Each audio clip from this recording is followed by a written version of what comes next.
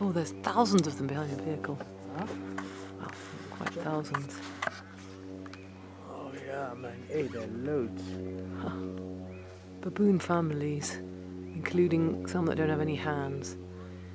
Male baboons don't like female baboons, but they love any baboons that are deformed. So apparently there's one which is an albino baboon, which you wouldn't like to meet on a dark night.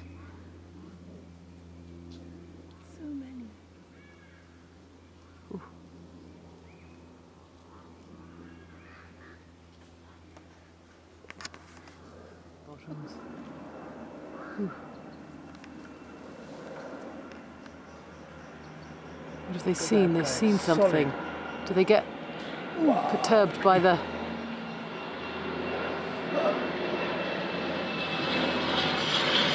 fighting?